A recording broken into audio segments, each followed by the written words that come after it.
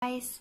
So today we're going to discuss about heating and cooling naphthalene uh, so we started with the heating first. So this is the apparatus for heating naphthalene as you can see there uh, thermometer which is a little bit bent I'm sorry. Okay so there's a naphthalene in the test tube there and there also the water bath water here. Okay so here is the apparatus for heating naphthalene. What I want to uh, stress here is the importance of water bath. There are two importance of water bath which is to ensure uniform heating and for direct heating to naphthalene so that the naphthalene can decompose.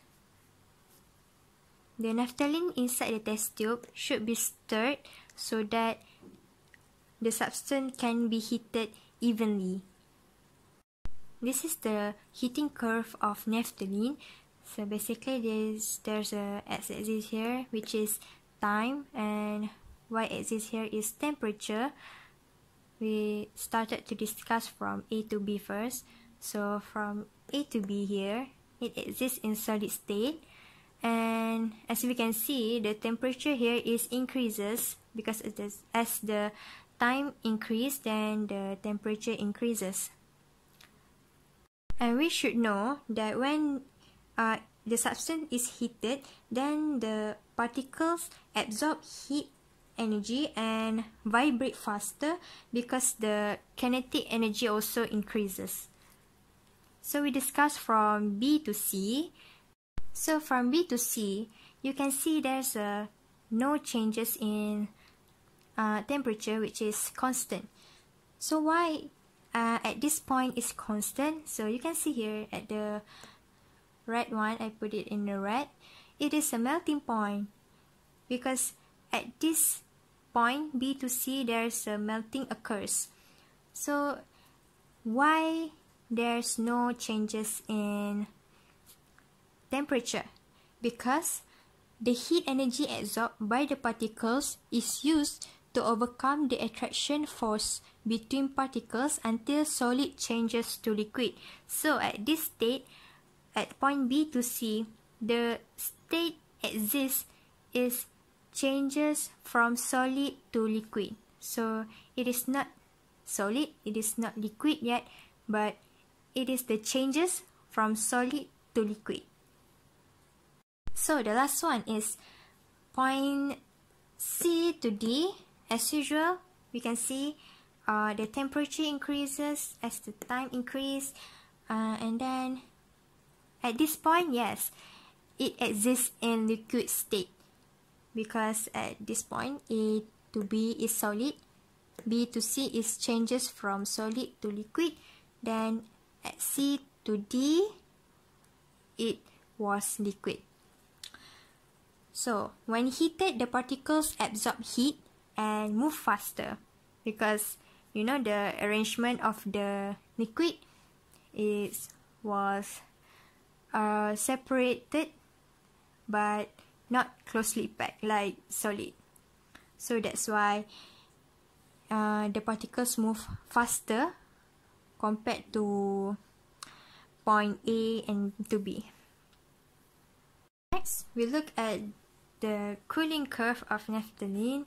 So basically, I'm so sorry, I'm really bad at drawing.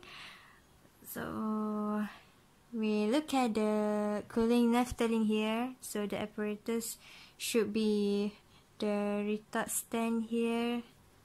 This is the retard stand and the conical flask and the liquid of naphthalene inside the test tube and also the thermometer. Oh no i'm sorry. Is it uh, this is the boiling tube. Okay. So i want to stress about the function of the conical flask first the function of the conical flask is to reduce the interference from wind outside the test tube.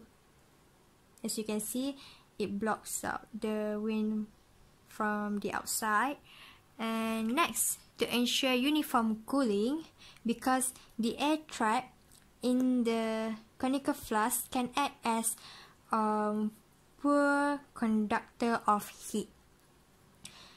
Next, as usual, the substance also need to be stirred to ensure uniform cooling as usual and if if the conical flask is not used and the substance is not stirred, supercooling may happen. Supercooling, which means your graph will be like, yeah, I will show you next. This is the curve of cooling naphthalene. So we started from point A to B. So from point A to B, we can see that the temperature decreases as the time increase. Why? Because when it is cool, the particle release heat and move slower due to the loss of kinetic energy. And at this point, it is exists in liquid state. From point B to C, we can see there's a constant uh, in temperature because at this point, freezing occurs. And you can see I put in the red here it is a freezing point. So there's no increasing nor decreasing in temperature because heat energy that is lost uh, to surrounding is balanced by heat energy released when the particles attract each other to form solid which means that at this point it is the changes from liquid to solid so that's why we call the freezing point. The last one is from point um, C to D, we can see that the temperature decreases and at this point it exists in solid state and when it is cool, the particles release heat and vibrate slower because it wants to form a solid. So it should be vibrate slower. So because they want the particles are going to be closely packed. So it will be vibrated at its own um, place. Yeah, at its own place. okay. So uh, we move to the uh, what I want to show you the supercooling curves. This is the last one, which is the curve of the supercooling. Yeah, so the supercooling is the cooling of a liquid to below its freezing point, but keeping it in a liquid state. So at this point, it's still liquid, then it goes up again and it undergoes the changes from liquid to solid here. So the possible is it can cause um, there's no solid solid can form because it lacks of solid particles. So it can form crystal here. So that's what supercooling do. So um, to avoid supercooling use conical flask and also stir the naphthalene while cooling okay so that's the ending of this video. Thank you for watching.